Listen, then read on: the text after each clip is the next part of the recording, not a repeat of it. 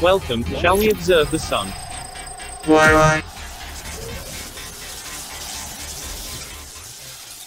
Each October the Earth passes through the inbound debris of Halley's Comet to produce the Orionid meteor shower. The outbound activity is seen in April and May of each year as the Eta Aquarid meteor shower. Orionid activity is usually low until mid-October, when we pass closer to the core of these orbits. The Orionids are a medium-strength shower, usually producing 15 to 20 showers members per hour at maximum as seen from dark sky locations. There have been surprises in the past when rates were three times this strong.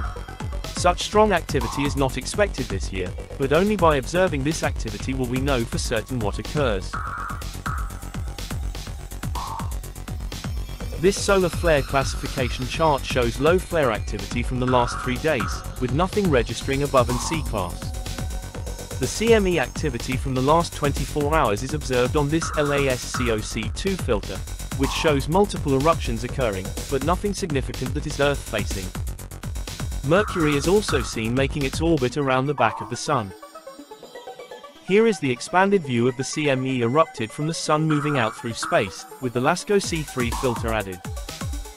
On the left side of this filter, Mars can be seen moving into view with its orbit which will be in front of the Sun, nearer to Earth. This HMI intensity gram map shows the sunspot regions on the Earth-facing side of the Sun. Sunspot 3468 is directly Earth-facing today. Its class size is 70 which means it is about 210 million square kilometers, and has a 1% chance of producing an X-flare. SDO filter 171 shows the beauty of our sun, it shows the coronal surface, with all the intricate details of the sun's activity. Shown is a clip from the 19th through the 22nd. This is the position of the planets today. And as always, sit back, relax, and let me keep my eye on the sun for you.